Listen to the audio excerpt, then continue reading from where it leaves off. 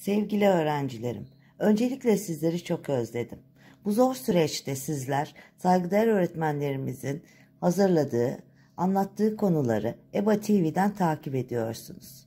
Ben de sizlere bu konular paralelinde EBA ve EBA Akademik Destek'ten çalışmalar gönderiyorum ve takibini yapıyorum. Ayrıca ders kitabımızdan bazı örnekler de çözerek sizlere destek olmak istiyorum.